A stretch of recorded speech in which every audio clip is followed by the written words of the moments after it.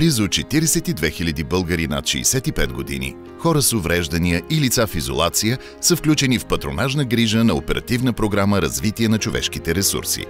Услугите се предоставят в 226 общини.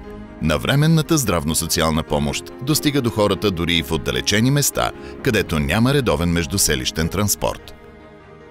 Проект Патронажна грижа стартира от месец юни 2019 година след подписване на договор с Министерство на труда и социалната политика. От месец октомври 2019 година започна същинската работа вече с потребители. Нашия капацитет на обслужване е 123 потребители. Предоставяме социално-здравни интегрирани услуги, които са мобилни, и за целта сме включили всички прилежащи села на територията на община Дупница, които са 16 на брой. Назначили сме социални медиатори, рехабилитатори, медицински сестри, психолози. Имаме шофьор, който с кола, която е закупена по проекта, обслужваме нуждаещите се хора от този тип услуги. Девет години съм седал сам, много плачем и днеска плачем и нощеска. И за това очите ме заболя. Така плачем и аз съм мъж, ама плачем. Не се натъжавай сега. Моля те. Така. Спокойно. Значи аз го разпитвам как му е минала седмицата, от какво има нужда. Ето сега казва, че очите го болят. Имаше проблеми с краката, донасахме мехлемче, маза с мехлемчето да. и краката станаха малко по-добре. Мера кръвното, ако трябва мера кръвната захар, като има нужда от а, хапчета, му купувам, донасам му. Изпитваме какво те боли, какво имаш нужда, кажи това.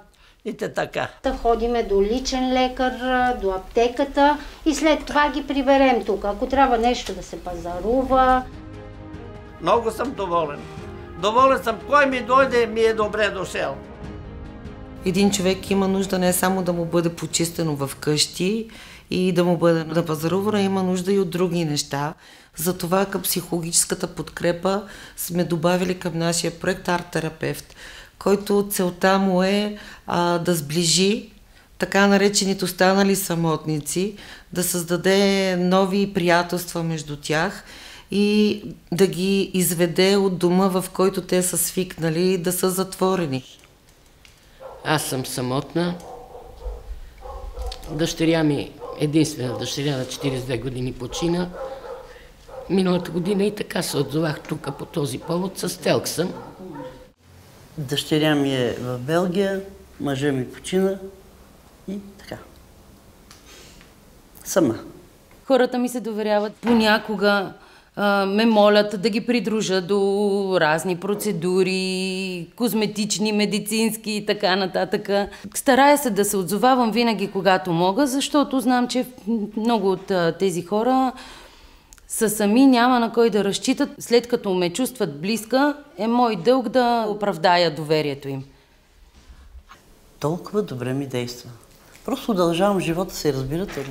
Груповата дейност наистина е много полезна за възрастните хора, понеже по-голяма част от тях са трудно подвижни, а, не могат да излизат сами а, и това налага нали, ограничаване на социалните контакти.